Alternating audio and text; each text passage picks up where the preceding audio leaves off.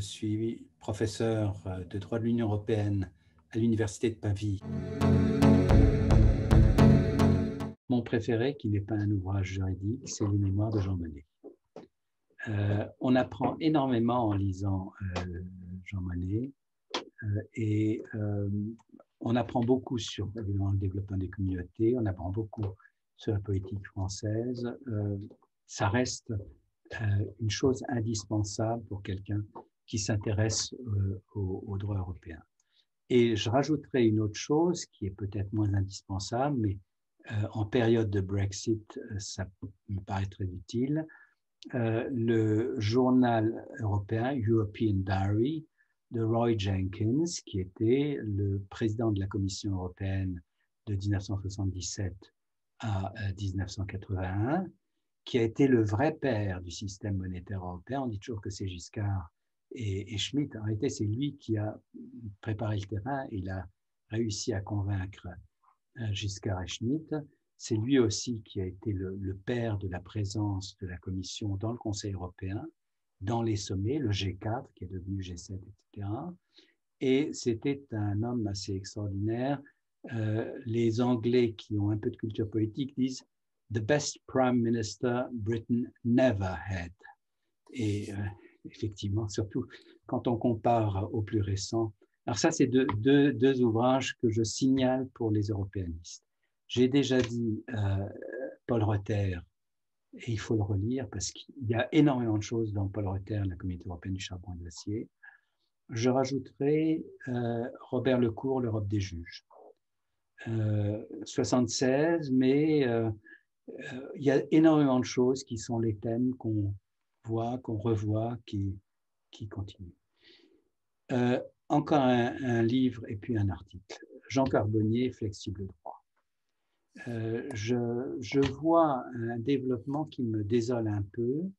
C'est-à-dire, d'un côté, beaucoup de jeunes ou moins jeunes disent qu'il faut faire de, de, l'interdisciplinaire et qui s'imaginent que l'interdisciplinaire, c'est quelqu'un qui est capable de tout faire. Mais de l'autre, euh, une tendance à, à, perdre une des grandes qualités de, la recherche juridique française, qui était la, sociologie juridique, Jean Carbonnier était professeur de droit civil et son manuel de droit civil était formidable, flexible droit aussi. Pour les administrativistes, euh, Léon Duguy, hein, euh, euh, Duguy, qu'est-ce qu'il faisait quand il sortait de sa salle de cours? Il rencontrait Émile Durkheim. Et donc, vous aviez le professeur de droit qui parlait au professeur de sociologie. Alors, je crois que Flexible droit, ça vaut absolument la peine pour ceux qui ne le connaissent pas de le lire, surtout parce que c'est court. Et puis un dernier, un article qui est celui de mon directeur de thèse, René Chaput, euh, de la valeur juridique des principes généraux du droit et des autres règles jurisprudentielles du droit administratif. Vous enlevez du droit administratif et vous avez un de mes thèmes favoris euh, sur lequel j'ai aussi écrit, les principes généraux du droit en droit de l'Union, c'est fondamental. Et si on connaît l'article de, René Chaput, si on applique son raisonnement, on comprend beaucoup mieux ce, que sont les principes généraux du droit et comment ça fonctionne. Pour moi, il faut partir des mémoires de Jean Monnet. Euh, Jean Monnet explique beaucoup de choses. Il raconte comment ça s'est passé exactement en 1951 et 52 pour, avec les Britanniques il explique pourquoi il estimait, et Dieu sait qu'il les connaissait bien, il connaissait très bien les Américains, pourquoi euh, l'Europe sans l'Angleterre, ça n'aurait pas été euh, une bonne chose. Il explique pourquoi c'était très difficile de négocier avec les Britanniques. Euh, il expliquait aussi très bien ce qu'on a très souvent oublié, c'est qu'avec les, par contre Jean, Michel Barnier l'a très bien compris, il faut dire, que les Britanniques sont d'excellents négociateurs en général, et qu'il faut euh, savoir euh, qu'ils demandent toujours beaucoup plus qu'ils ne veulent obtenir. Jean Monnet expliquait aussi une chose fondamentale qui était essentielle à son époque, c'est l'apport euh, qu'il considérait nécessaire de, du Royaume-Uni, non seulement évidemment pour toutes les questions économiques qui seraient, celles de, la CECA et ensuite du marché commun, mais aussi pour la démocratie et le régime parlementaire. Malheureusement, entre-temps, je dois dire que, j'espère qu'ils vont se reprendre, mais c'est devenu catastrophique. La, mère des régimes parlementaires est devenue, euh, en, quelques, en, une, décennie, la mère de l'antiparlementarisme installé au pouvoir. Parce que le gouvernement Johnson, c'était ça. Maintenant, ils, vont être, euh, vous jetez le parlementarisme par la fenêtre, par la porte, il revient par la fenêtre mais euh, la pratique euh, traditionnelle britannique du parlementarisme, le respect de l'opposition, etc., c'est une chose euh, fondamentale. Alors ça, je crois que c'est très important. L'apport britannique, en particulier dans, le, fonctionnement parlementaire, a été essentiel. Ce n'est pas le seul. Hein. Il faut rappeler Pierre-Henri Tejen, un, autre nom que je n'ai pas cité et qui est trop oublié, Pierre-Henri Tejen avait déjà euh, en 55 ou 56 euh, rédigé un rapport euh, sur l'évolution du parlementarisme. Si Jean-Claude Juncker a fait quelque chose de bien comme président de la Commission, ça a été de choisir Barnier parce que, un, c'est quelqu'un qui a été commissaire au marché intérieur, qui a su, et pas qu'un peu, ce que c'est que les marchés financiers, euh, c'est quelqu'un qui avait été ministre des Affaires étrangères, etc. Donc, euh, on a eu de la chance parce que l'Union européenne a su négocier.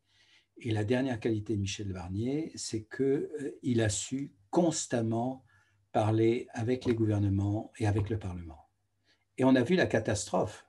Barnier n'a pas été interrogé par le cabinet de Ursula von der Leyen la semaine dernière.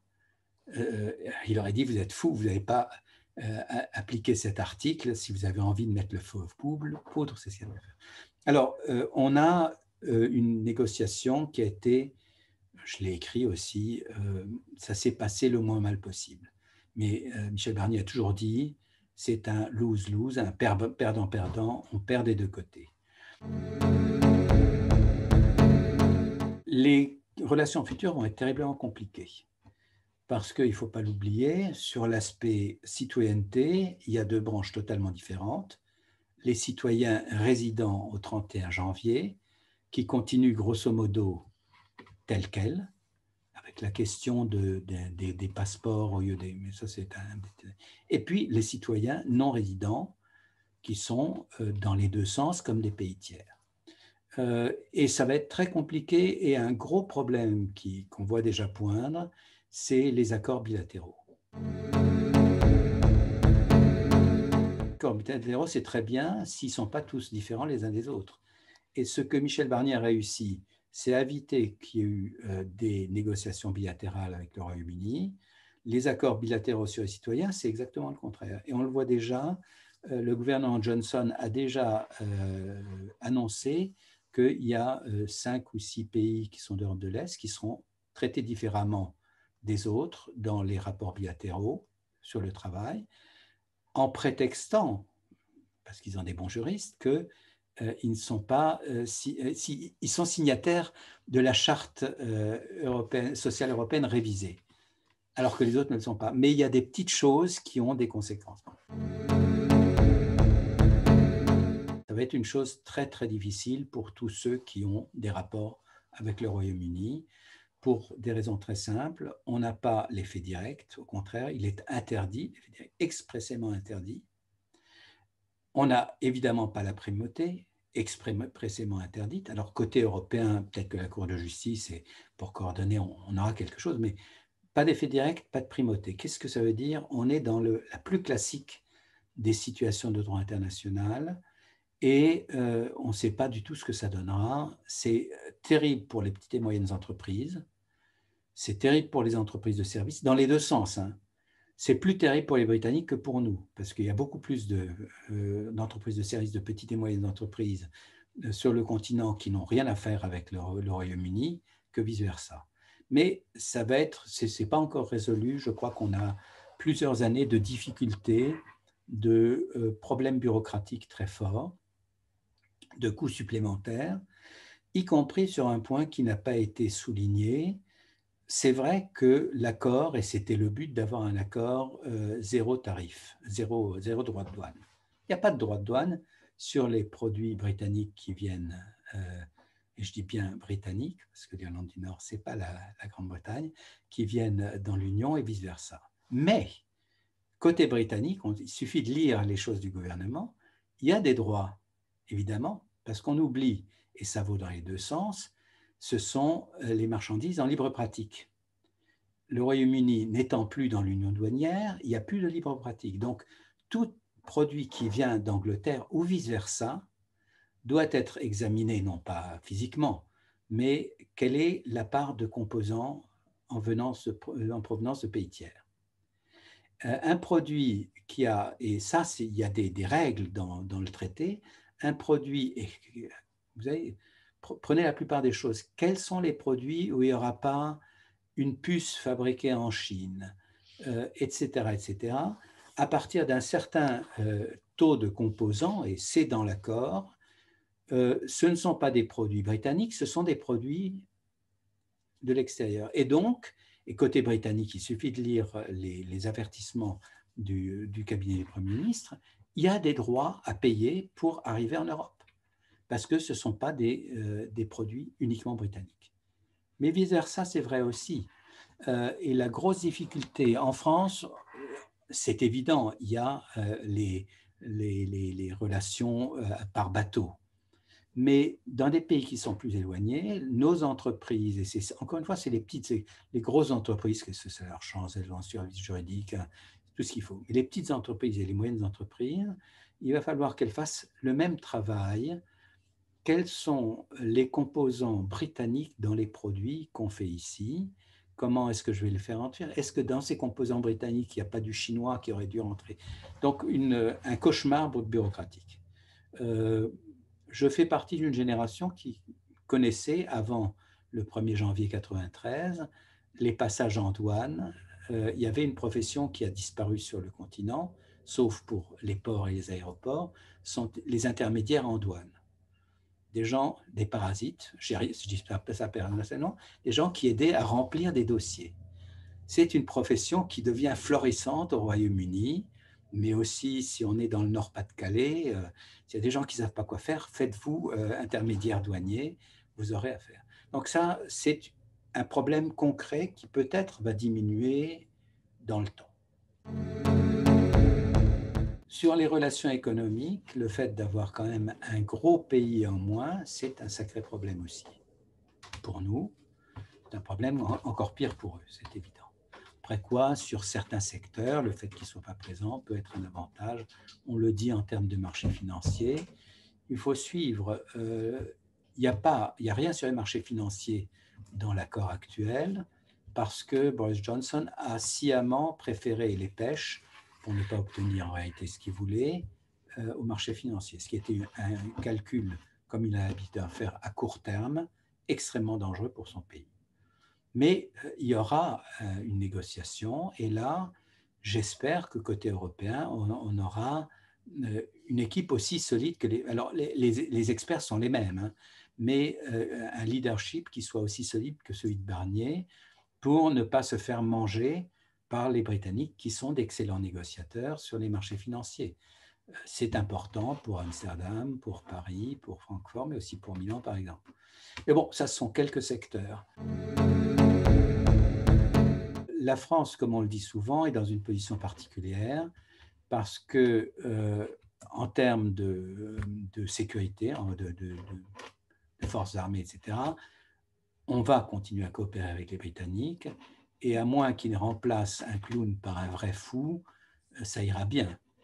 Euh, je, l'ai dit, hein, j'ai dit ce que je pense. Pour le moment, ça se passe très très mal au Royaume-Uni. Dieu merci pour euh, Boris Johnson, il y a l'histoire des vaccins. ils ont fait un pari hasardeux avec AstraZeneca, puisque j'ai des amis qui sont à peine plus âgés que moi qui ont déjà été vaccinés dans la plupart des pays du continent, on dit attention, euh, l'EMA euh, a, eu des tests, euh, c'est que AstraZeneca a fait des tests avec des gens jusqu'à 55 ans, on ne sait pas ce que ça donne au-delà. Au Royaume-Uni, l'idée a été, on va être les premiers, on va montrer l'avantage du Brexit. L'agence britannique a décidé avant Emma, le gouvernement a décidé de vacciner tout le monde. J'espère pour eux hein, que ça marchera bien. Mais euh, tout le reste se passe terriblement mal et on en parle très peu. C'est d'ailleurs pour ça qu'ils insistent tellement sur, sur euh, AstraZeneca. Est-ce que ça durera? Est-ce que ça ne durera pas? Personne ne le sait. Personne ne le sait. donc, il est impossible de faire des, prévisions. Le gouvernement Johnson, parce qu'il est dirigé par quelqu'un qui a toujours su faire beaucoup de bruit, euh, parfois pour pas grand-chose, parfois pour beaucoup, dit, vous avez vu, on a déjà 54 accords euh, de commerce avec les autres. Et c'est pas difficile, ils ont fait un copier-coller des accords avec l'Union européenne. Mon sentiment, je me trompe peut-être, c'est que les Britanniques se font des illusions. Pour le moment, ils sont traités extrêmement froidement. On le sait déjà par, en tout cas, les déclarations de Joe Biden, mais également par d'autres. Le Royaume-Uni, le gouvernement britannique a annoncé qu'il allait poser sa candidature au nouvel accord euh, Asie-Pacifique. Les Australiens, qui pourtant ne sont pas des ennemis des Britanniques, sont extrêmement sceptiques et disent, bon, c'est bien gentil, les Britanniques voudraient rentrer dans cet accord avant que la Chine y soit pour pouvoir peser sur les conditions de l'accord si la Chine rentre. Mm. Euh, ce que, à mon avis, le gouvernement britannique va découvrir, que les fonctionnaires britanniques savent très bien, mais les politiques n'ont pas compris, c'est que le poids qu'avait le Royaume-Uni étant dans l'Union beaucoup moins, était beaucoup plus fort que celui qu'il aura tout seul. Le euh, Royaume-Uni sur les accords euh, internationaux a beaucoup pesé, ne serait-ce que parce que euh, les anciennes colonies britanniques sont importantes et donc ils ont su insister sur certains points. Tout seul, je, crains qu'il ne, ne, découvre que c'est un petit, un petit pays ce que disait Giscard en, 1976 et qui lui a beaucoup reproché Chirac, la France est une moyenne puissance, le Royaume-Uni est une moyenne puissance. J'ai toujours été très sceptique sur cet argument-là parce que euh, l'opposition britannique a été beaucoup instrumentalisée à partir, je dirais, des années 80 par euh, d'autres gouvernements, à commencer par le gouvernement français, dans les domaines où on n'avait pas envie d'aller plus loin. Euh, Ce n'est pas le cas maintenant, parce que je ne mets absolument pas en doute la, volonté européenne de, Macron, mais il y avait très souvent ça, c'était bien confortable de dire, ah, on voudrait en faire plus, mais les Britanniques ne veulent pas. Donc, ce n'est pas parce qu'il n'y aura pas les Britanniques que ça sera plus facile. Et je ne parle même pas de, des problèmes qu'on a maintenant avec euh, l'état de droit, qui sont bien plus graves que quel que soit un problème britannique que ce soit. Euh, les choses dépendront de l'absence des Britanniques, mais ça dépendra, et je conclus là-dessus, sur ce qui va se passer en Italie. Euh, on est aujourd'hui le, 9 février, je le dis ici, l'interview est publiée comme ça, et Mario Draghi est en train de commencer la deuxième ronde de négociations pour constituer un gouvernement. On en parle beaucoup moins dans les autres pays. Si Mario Draghi devient Premier ministre de l'Italie, euh, l'Italie retourne sur la scène européenne avec quelqu'un qui sait ce que c'est, qui est apprécié. Et là, ça, ça, peut donner euh, une relance européenne forte s'il y a une alliance euh, entre Mario Draghi et Emmanuel Macron, pour le moment, euh, Angela Merkel, elle s'apprête à la retraite. En Allemagne, on verra. Là, on est peut-être à un moment où ça peut repartir, mais ce n'est pas tellement parce qu'il n'y a pas les Britanniques. Donc le fait qu'ils ne soient pas là euh, remet, rebat les cartes, mais euh, ce n'est pas leur absence qui va forcément tout favoriser. C'est beaucoup plus ce qui se passe à l'intérieur des, autres États membres.